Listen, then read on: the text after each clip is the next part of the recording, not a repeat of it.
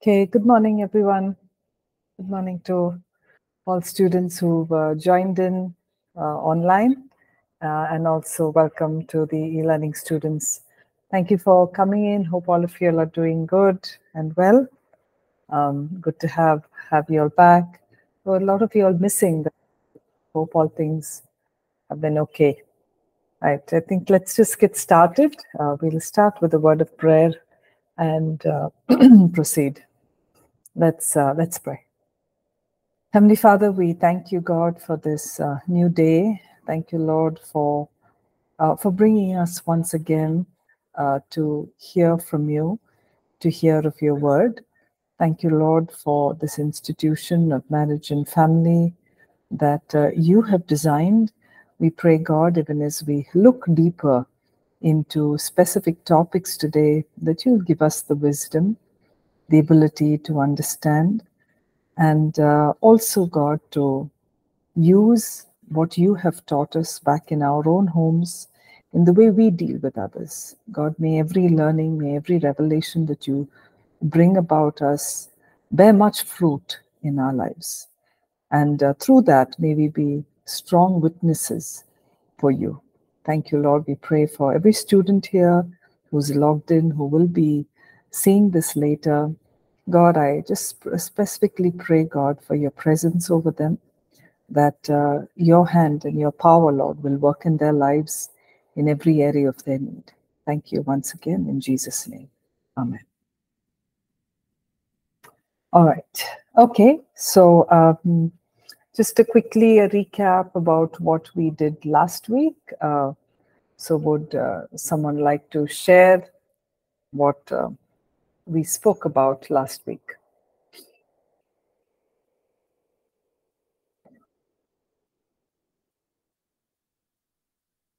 What was the topic that we spoke about? We we had started looking into elements of a good marriage, and that was the first part of uh, what we're doing, which was yes. Anyone?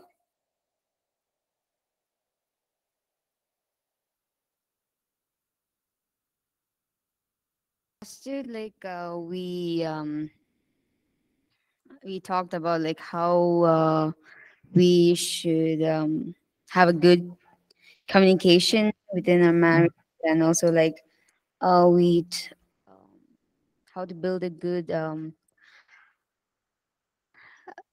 wait how to I'm sorry. Uh so how does communication build a good marriage? And also we talked about the aspects of communication and uh, yeah Okay. Thank you, Ren. Thanks. Yes, we spoke about uh, uh, communication. We were uh, we started this entire topic on elements of a good marriage, and one of the things that we started off was with communication. So we looked at many um, different aspects of communication. What really uh, is important? Why is communication important in marriage? What are some of the barriers that we may face? Um, uh, how do we communicate? We looked at three aspects. We said listening, we said speaking or expression, and feedback. And we also looked at the spiritual law of communication, the power of our words, which brings us life, which brings blessing, which releases faith. So these were a couple of things that we spoke about. Okay. Um, uh, what, what we're going to look at today, we're not going to go chronologically as per the notes or as per the book, but we will be covering everything. But I just rearranged the order a little bit uh, because I, I think there are some of these things we can deal with first and then go on to um, other other topics. So so another element um, of a marriage is the way that we resolve conflicts, the way that we um, deal with differences, disagreements that may come about in a marriage. So we're going to be focusing on that today. And this is in chapter 10 in your books or uh, 104 in the uh, in the soft copy or 105 in in the physical copy that you have, your hard copy. Okay, so we, we just skipped a couple of chapters and we will come back to those. Um, but we're going to be looking at uh, resolving conflicts. Okay, now uh, something that we need to understand and probably remember is the way that we resolve conflicts um, could largely be uh, largely be um, uh, uh, you know something that we've learned or we've seen from the way conflicts were dealt in our parental homes okay? Um, uh, how conflicts or quarrels or disagreements were dealt with in the in our families of origin that is with our parents and how that was uh, dealt with. And very often we seem to display the same kind of um, methods or resolution techniques even in our own homes okay um, so that's just keeping a background in mind because um, it's important to understand where we may have received or understood some of the ways that we can uh, work through the differences that we have. Uh, and uh, and that this is this is a very important factor. Sorry.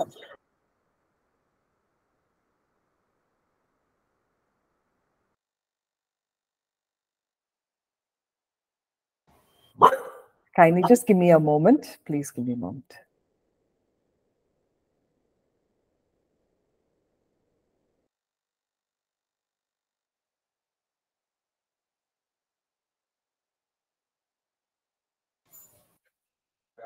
Yeah, sorry about that.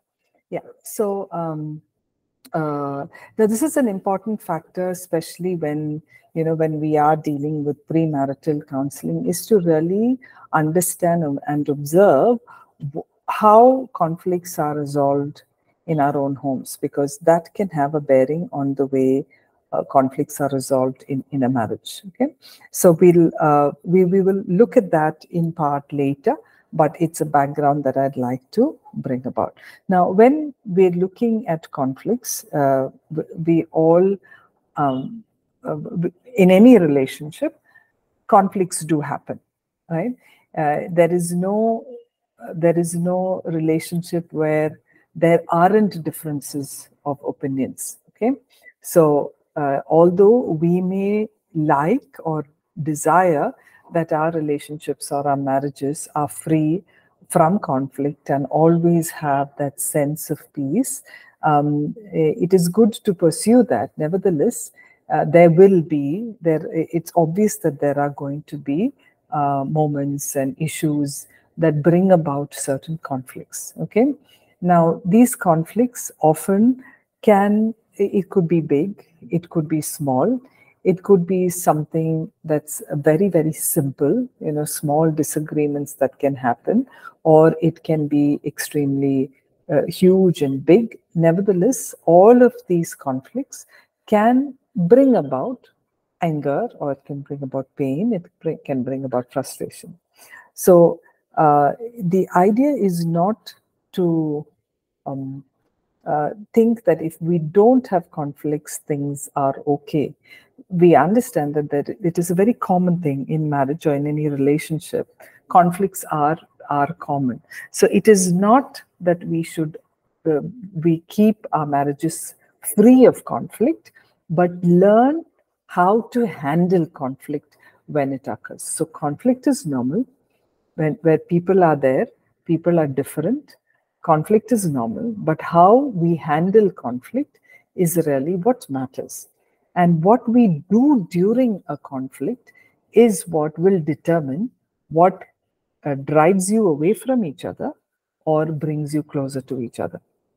So, so this is a skill, and one of the elements in marriage is a skill in learning how to uh, resolve these conflicts and conflicts and have peace at home. Okay. Now, why do conflicts happen?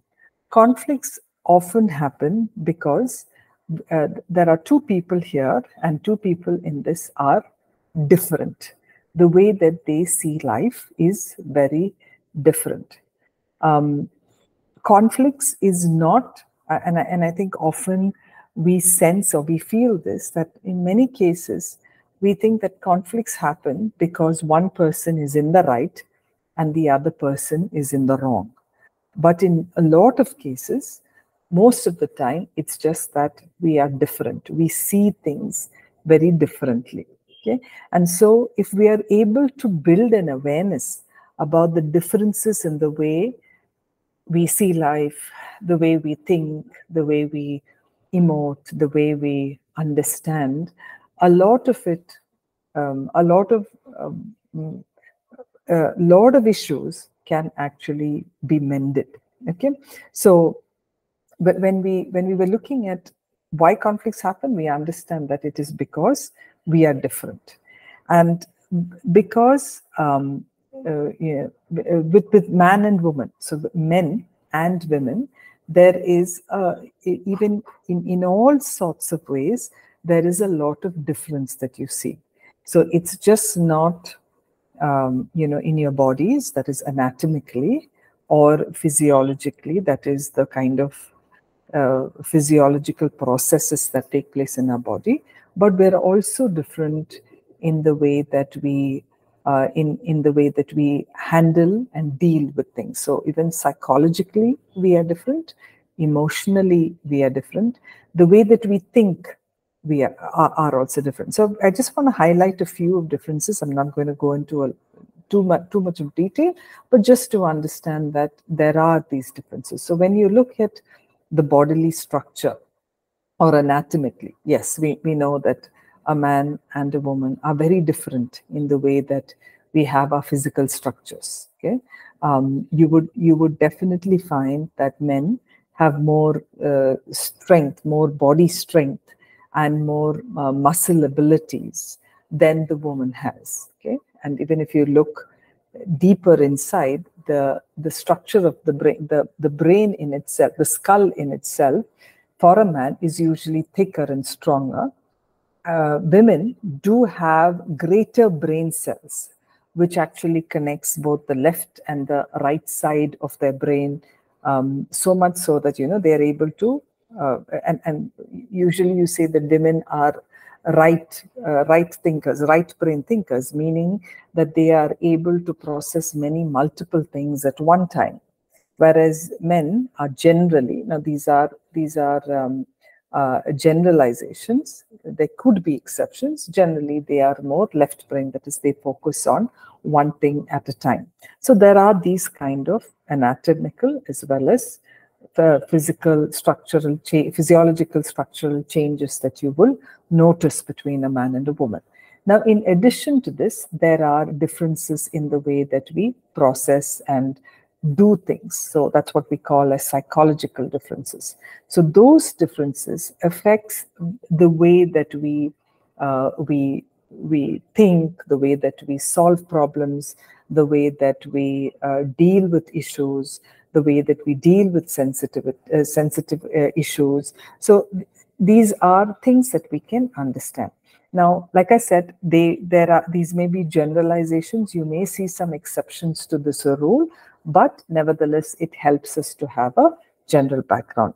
Now if if to just name a few of um, uh, you know differences that you would see is for example in the way that a man and a woman problem solve uh, the way the way the man problem solves is one issue at a time okay? So they may uh, they, they may they may focus uh, really looking at one problem at a time okay? And for and when they are solving problems they are uh, for them it's more about how well they're doing it what are the skills that they that they're using um, the strength that they have as they are dealing with that with the with the with the problem. Okay whereas for women women definitely women uh, not just look at how a problem is solved but the way that they solve the problem is important. So for them for women, it's more about how they can discuss it, how they can work with somebody, how they can interact, even through relationships. Maybe it is through a relationship that they do by talking with someone is how they do solve their problems. But for, for men, they may they may try and focus it within themselves and come to a place of uh, resolving an issue or a conflict by the way that they're able to think of it. So there in itself, you see that there is a difference. So how the problem is solved is uh, is is starkly different between a man and a woman. Now, even the way that they may think. So when when you look at um, uh, uh, you know women, women generally are you know think in multiple layers or in multiple uh, they, they consider multiple sources while they are thinking okay so and each of this will be connected one to another right um, uh, like for example if there is a if they're thinking about something with regard to work it also matters how things at the home and maybe things at other areas or in their environment connect to one another connect to one another. So then you would see that there is a lot of interconnection and interdependence in the way that they deal with a certain problem or or the way that they they work through that whereas men they tend to focus on one thing at a time they they are able to look at limited issues at a time they they if that's a problem they try to solve just that and not really pull in from other areas of their life, maybe work or family or things that they don't they don't pull from other uh, things of life. Okay, they they work in those compartments. And um, if you're interested to read more, there is this book that's called "Men Are Like Waffles, Women Are Like Spaghetti." It's a it's an excellent book to read because it helps to understand how men and women process and think differently. Okay, uh, even even in the way that um, um, uh, uh, you know, is especially when when uh, when we were looking at problem solving, the way that a man problem solves maybe maybe more through uh, through like a challenging situation. They may go out to play a game or they may go to fix something like a, you know, something that is broken or something. So the more that they do it, they probably have a understanding of how to solve a problem. Whereas women, they the first thing they may do is call a friend or call a relative and, you know, really talk about it in length. And once that talking is done, then they feel a lot more better, a lot more satisfied that their issues are dealt with. Okay and and this also has a bearing on the way that they uh, uh their memory. Women often recall memories. It is usually based on some emotional uh, thing that they have connected with okay? Uh, they uh, probably they're they're even able to remember you know a certain memory what clothes they were wearing what was the setting like what is the date like. So there are a lot more of details because everything that they connect with are uh, also tend to have an emotional component to it. Whereas men, they think of things that, that where they may have used some strategy, okay? And uh, uh, what what they do is to, um, it's the task that that's uh, that's got done there that they remember a lot more okay? So so that's that again is something that you would see is is different. Um, another area of difference that you would see is how um, uh, women men tend to uh, build better relationships through common activities right? Maybe through a football or through playing a game or through bike riding uh, some activity is what connects them whereas women they have a preference in relationships through communication through sharing of thoughts um, they uh, perspectives, emotions, all of that is what really helps them connect. Okay, so in in the way that you you do see this is that in in many ways God has created man and woman to be to be really different, and in addition to all of this, there may be personal differences. We all may have our uh, own um, differences because of our of our homes the way that we were brought up, the kind of culture uh, we've been in, uh, the, the experiences that we've had in life, um, what we've been exposed to, the kind of learning or the kind of knowledge that we've been exposed to, all of these differences will have a bearing on uh, on the way that we uh, uh, deal with things okay and also the way that we've been made certain personality traits that are there the way that we communicate the way that we behave, the way that we are able to take emotional uh, struggles, um, the way that we are able to deal with stress. So, so all of this makes it even more even more different. So when there is a difference, um, what is it that that we need to understand is that we need to perceive that the fact that two people in some kind of an argument or a conflict come in because of the differences that there are. And when when we view these differences in the right frame or in a in a correct um, way um, there's there's a greater sense of understanding. There's a greater sense of knowing that happens okay? Uh, rather than thinking that something is uh, lacking or something is wrong something is deficient.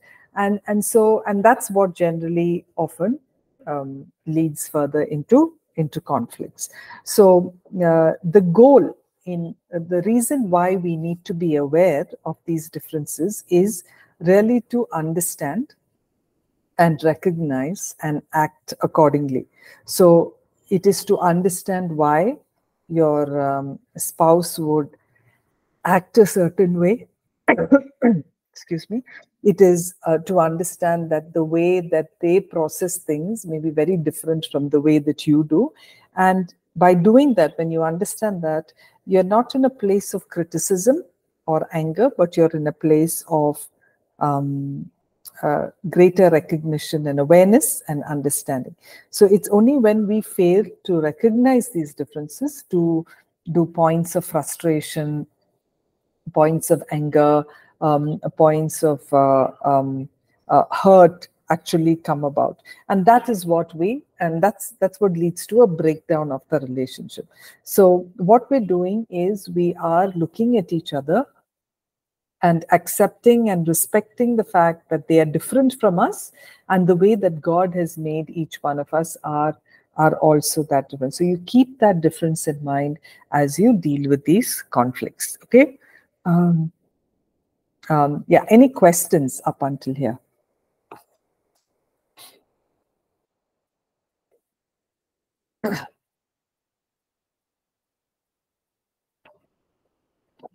Any questions?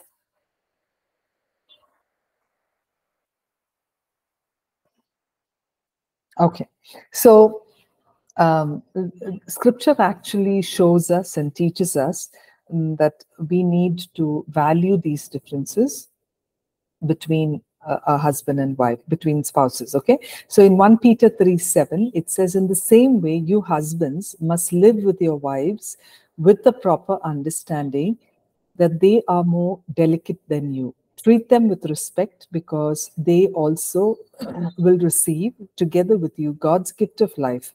Do this so that nothing will interfere with your prayers. Okay? So just to know that there are they are going to be different. We are going to be different from each other.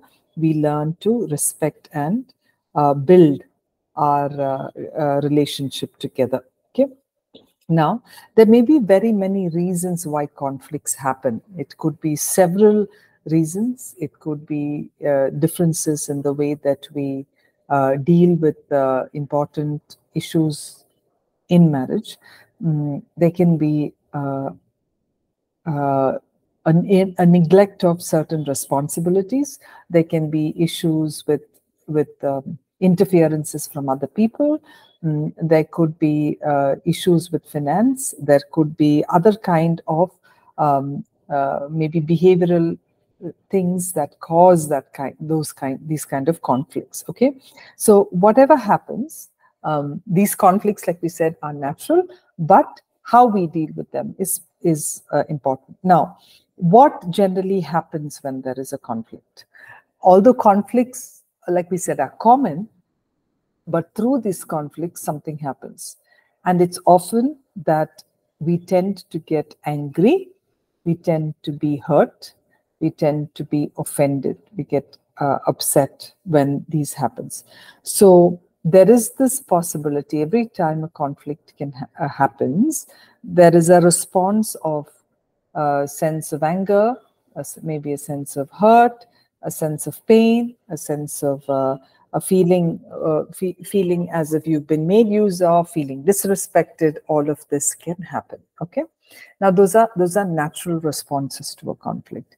Now, although uh, we may experience these emotions, the next thing we need to to keep focus on is that when we in conflicts happen, one of the biggest emotions that we face is anger, and anger uh, is that kind of a response that um, uh, that that often can create a larger divide in conflicts. Now, anger in itself is normal, it's natural, it's a way for us, it's a way to show us that uh, something is wrong, something uh, is uh, is going amiss. Okay, so in itself, it is normal, it's natural, we all feel it. Nevertheless, the way that it is expressed. So even in scripture, it says it's a, it doesn't say um, uh, you know anger you shouldn't be angry it says in your anger do not sin right in your anger do not sin or do not be angry for a long time keeping it in such till such time that you're sleeping four days without resolving said you know before the sun goes down you know resolve your anger so anger in itself is uh, is not bad. It's something that's given to us by God. The way that it is expressed is what uh, we have to be careful about. So, although it's normal and a natural emotion, we must be careful that we have to have a control of it. So, if this conf- if if the if the anger um, is not controlled and becomes extremely intense, and anger is there um, you know severely then is some then is what we understand that it can lead to um, it can lead to a difficult situation. Now even scripture if you look at page uh, 107 in your books and uh, page 106 in your um, uh, soft copies you will see that there is a lot of scripture that teaches about anger. Okay, uh, many of these verses are from Proverbs in itself. Okay, and uh, uh, it it actually helps you to see from scriptures what is what, what do you apply how can you apply this to yourself so let's just take one of those verses it says in proverbs 14 7 it says people with a hot temper do foolish things wiser people remain calm. So this is what Proverbs says. When we are extremely angry, we do foolish things. For example, when we are extremely angry, we may say things that we actually don't mean, right? Or we may do things that we don't intend to do. Or we may do things that are impulsively driven. Like when you're angry with someone, you've probably said, I, de- I never want to see your face again and you walk out of the door. It is in that anger that is people with a hot temper do foolish things, right? And then once it is done, it gets hard to undo what is done, right? And then it gets even more messier and difficult. But when you are able to bring down your temper or stay in calm, wiser people remain calm. So maybe you're angry at that moment and uh, helping excuse yourself and say, May I be excused for 10 minutes? Or I will come back when I'm feeling a bit more calmer. Excusing yourself and coming back and discussing about it is the wiser way of doing that. Okay. Or Proverbs 15 18 says, Hot temper causes arguments, but patience brings peace. So, in your anger, when you say something, it's always going to lead to an argument. But when you calm down and cool down and be patient with yourself as well as with the other, that's what that's when you're able to talk a little bit more openly and uh, um, uh, maybe discuss uh, discuss your feelings and where you're at and that in itself brings peace okay? So if you look at all of these verses it actually helps you to see how we need to manage anger. It doesn't say we shouldn't be angry but of how in in your anger. Like ephesians 4 26 27 it says if you become angry do not let your anger lead you into sin and do not stay angry uh, all day. So th- these are things that saying anger is normal nevertheless the way that we deal with it. So one of the things um, you know it's, it's an interesting questionnaire that's given uh, in the next page of anger in your relationship. So what do you see or how do you express your anger in your relationships? And that's what it's showing. There are almost 25 items there if you have the time you know take time to do that it'll give you a real a reality check about the way that you um, display your anger or how uh, it is it is. So it's it's a good reflective questionnaire that that will help okay? Now um, so what happens if you're angry? Okay so that's where, where that's where we stop. So if you are very angry it's a good thing to do is to press the pause button. Imagine it's like this you know you're going uh, uh, you're go excuse me. You're going uh, on the road. You're in high speed okay? And you and uh, especially if you if you're in bangalore you sometimes see that there isn't a yellow light you know a lot of the signals don't have yellow lights. It has a red and a green. That's as much as it. So green you may be really speeding it to 120 and suddenly you see the red and then you've got to screech stop. Okay think of it like that. When you're really angry and you're in that motion of driving at 120 kilometers per hour in your head right? It is to screech to a stop. It is to call a stop. Press the pause button and stop. Bring things to a stop and move away from what is happening. Okay? So, whenever you're really angry, it doesn't help. I keep telling, um, you know, people I counsel, when you're angry, you're you're like a you're almost like a drunkard. You don't know what you're saying uh, you have no um, control of what you're saying. Okay, everything seems to be uh, your judgment, your ability to understand, to reason out the consequences, all seem to be lost. It's gone on holiday, right? And so, what we're doing is when we are aware that we are angry, we pull to a stop. We press the pause button and stop and keep away from what is happening momentarily. Okay. And then what we're doing is we need to go back to the seven steps of resolving conflicts. And that's what we're going to be looking at at the next hour. Okay. And coming back to that, to that point. Okay. Um, so, and that in fact, when, when you press the pause button or if you stopped at the stop signal, you have uh, let you have not let things go out of hand because once you let things go out of hand it gets even more difficult to build. So even if it goes out of hand you need to take a step back calm down and work through those work through the seven steps that we are going to be looking at okay? One of the things that uh, we need to be aware of is not to avoid a discussion so it says avoid avoidance, which means uh, a lot of times when we have conflicts, we avoid talking about it. Because why? Because if I talk about it, then a conflict is going to come. So we avoid it. So it's saying avoid avoidance. Don't um, don't let uh, things that are festering or things that are in conflict, don't let it lie. Don't avoid it confront it, meet with it, go face to face with it. Okay?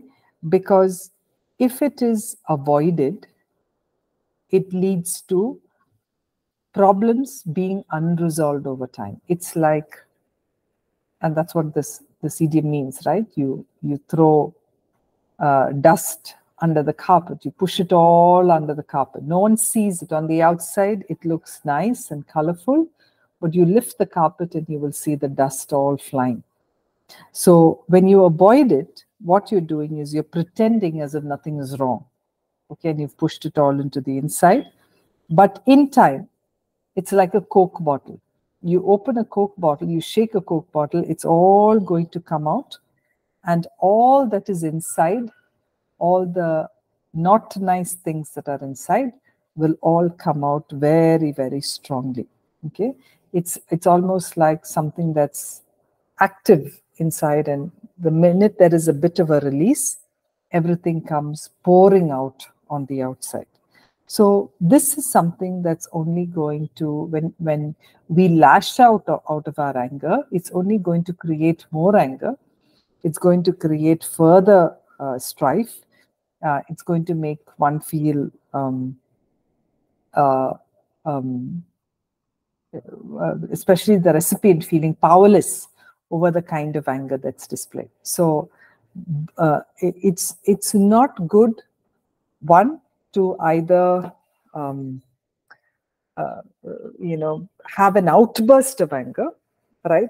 Because you will have two kinds of people. The two kinds of people. One kind of person, uh, the one kind of people are that the minute they're angry, they have to speak it out. They have to bring it out. You know, it's it's like they rattle it for around five minutes and then they're okay. But you have another set of people, they don't do that. They will keep it all inside. They will repress it.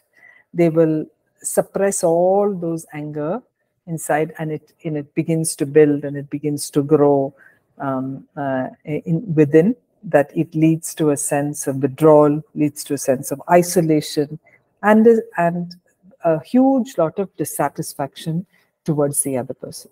So, both ways, avoiding not talking about it because you've repressed it and you have suppressed your emotions is as bad as actually having an outburst of anger where you're lashing out, you're saying things, you're um, bringing about a lot of upset outside. Okay. Now, we need to also be aware how to keep away from some unhealthy practices when we have conflicts. And and because there's been no not a whisper in the last 40 minutes i want to open this out to you and ask you uh, and this is a you know personally um, and i think it's perfectly okay to share because we're all in the same boat. How what do you do when you have a conflict that is not healthy? What do you tend to do? A conflict that's not maybe i'll start so the minute that you know there is a conflict that comes to me one of the first things that i do is i withdraw and i keep quiet. I don't say anything right?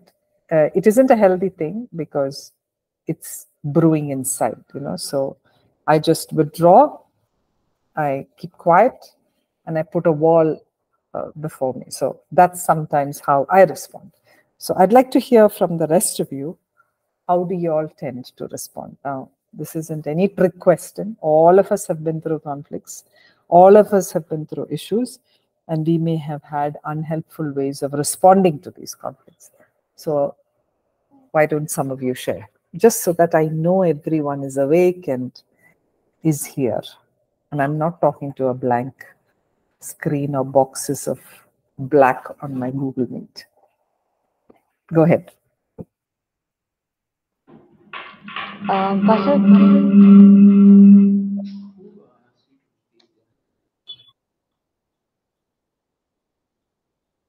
yeah, then go ahead. yes. Um, so uh, for me, sometimes like if it's if the like maybe if the conversation is getting maybe unhealthy, where um, uh, two of us are getting really angry. Sometimes, sometimes I just walk away, or I uh, just, I mean, I need time to be alone, like to cool off. Maybe just Mm. go talk to God and like just, yeah, be alone. Okay, so sometimes what Rin says is, you know, just walk away, or while maybe in the midst of a conversation, walk away. Okay, thank you, Rin. Thanks so much for that. Okay, what about the other students? I know some of you are there. Nikhil, Prince, Radha, Francis. Hello, Pastor. I don't know who else is there. Hi, Pastor Nina here. Yes, Nina, go ahead. Yeah, so sometimes when you're very angry, I know this other person is asked, talking to me in a very angry tone, and I know he's very angry, but try to give a little lighter answer. Okay. Okay. So is that does that help or does that Yeah, make the person yeah, yeah. even It more will angry? help sometime. Yes. It helps. Okay. I'm asking yeah. for unhelpful ways, but that's a oh. good Oh. one. Unhelpful ways. Oh. okay. Okay. I just Anthony said, Anthony said, I tend to withdraw, more especially if it is tending to intensify. Okay. So withdrawal. I think there are three withdrawals here. Even I generally withdraw, I keep silent. Anyone else who does anything else?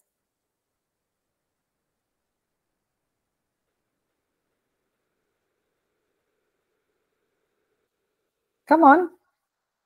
I'm sure this has happened to all of us. So we are, no one is of excuse of how we deal.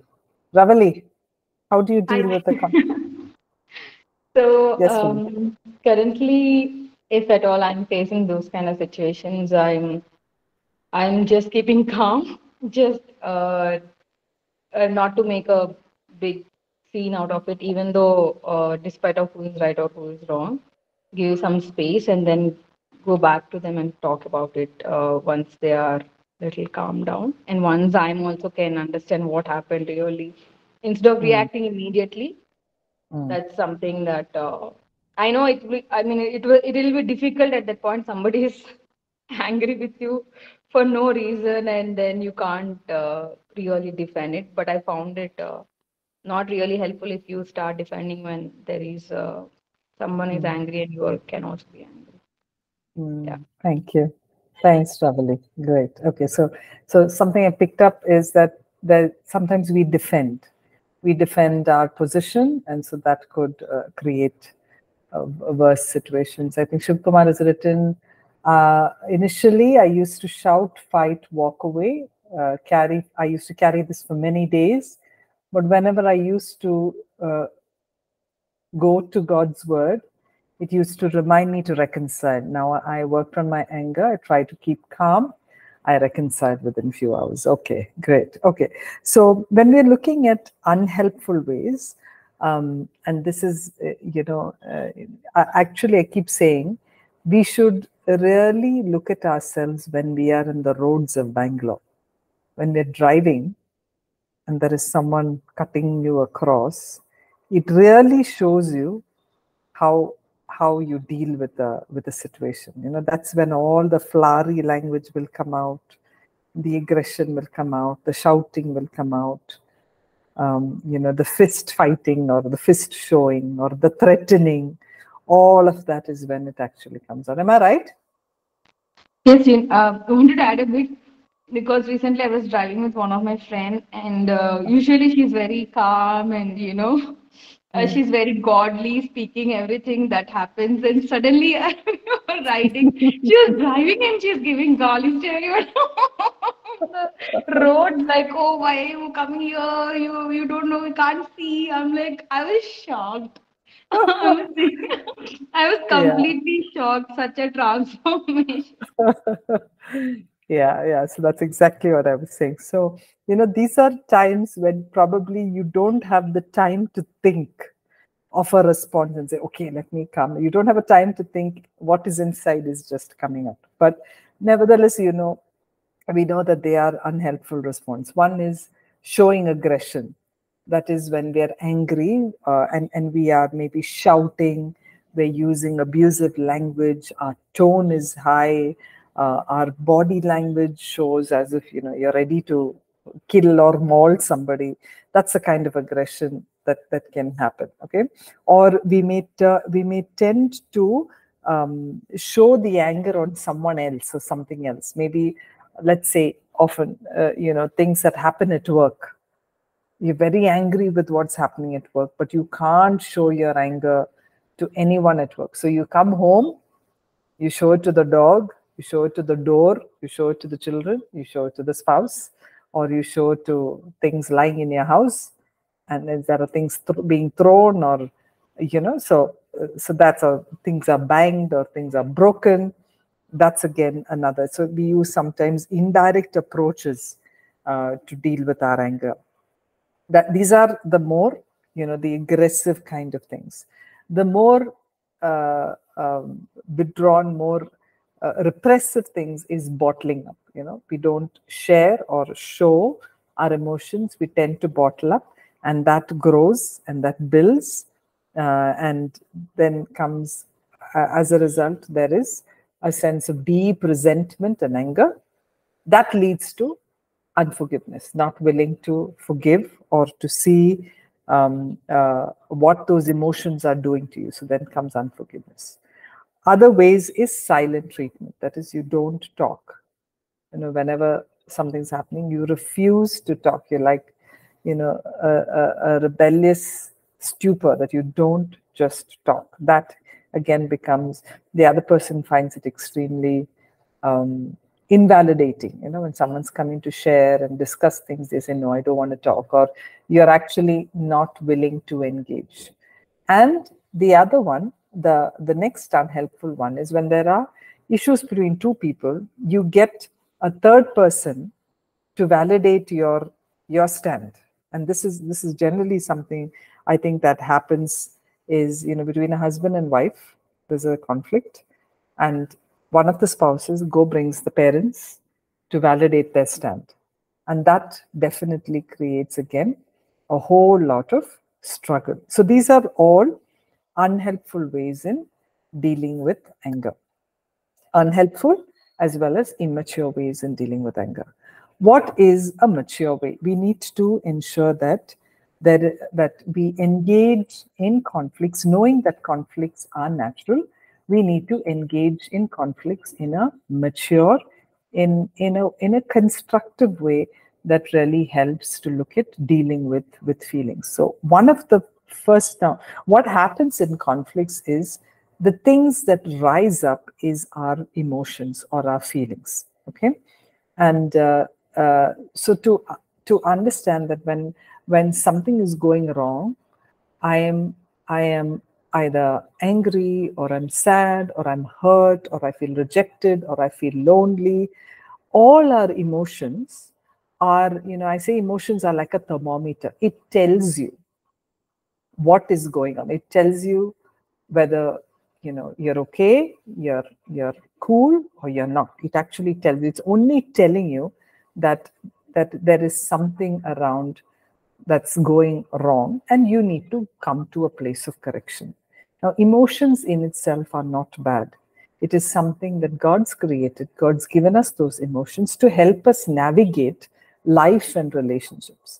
So, whatever the emotions are happening, it is okay to tell yourself that, okay, it's all right to feel hurt.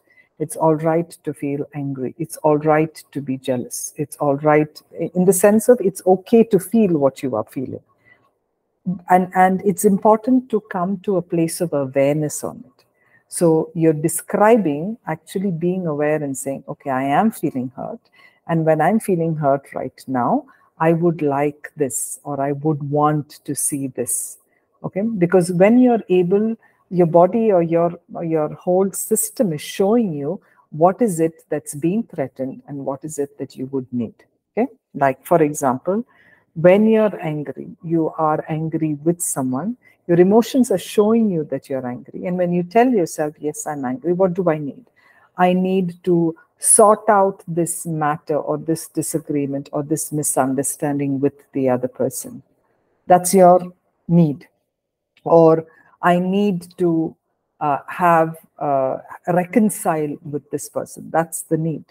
Or let's say if an emotion is of jealousy, okay so you're feeling jealous about something you've you've known that you are feeling left behind so the need is i'm feeling left behind so i would like to ensure that my spouse understands where i am and i would like to have a better bonding with them and not feel this sense of abandonment. So feelings in itself are perfectly normal. It's all right. And we need to learn how to confront and work with that emotions as we are dealing with the conflict. So emotions are absolutely normal and it is eh, and and the first thing when we are in a conflict whatever whether we are wrong or whether they're wrong it doesn't matter we go back handle our emotions, understand our emotions, and know what is it we want, what is it we need in a situation, and come back to resolve. Okay, so that is the first way of, of being able to engage in a mature way is to embrace that emotional part of you, understand that emotional part of you. Okay, so you're not escaping what you're feeling, you're describing um, how you feel and what you want and what you need. Another way of engaging with with uh, with with your uh, with uh, engaging with a conflict in a mature way is to absolutely keep away from any form of uh, building hurt on the other person, either through either through uh, aggressive means by name calling, by violence, by abuse, by uh, insulting them, by putting them down.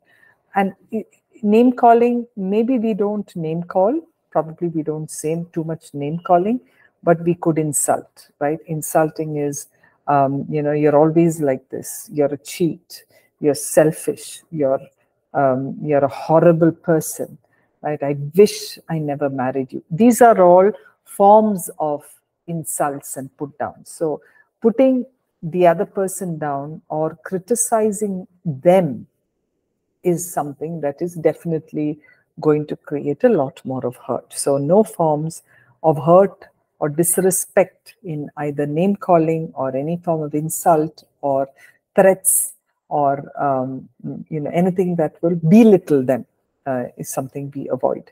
Again, the third, the next one of, of engaging in a mature way is to take responsibility for whatever your actions or whatever you have you have done or said maybe you didn't you you were not part of the first process of the entire argument but nevertheless through it you would have said something uh, that where you have not taken responsibility so often when we blame it uh, it doesn't help right that uh, uh in order to cut down that blame, it's important to take responsibility because taking responsibility, the opposite of taking responsibility is blaming. Okay.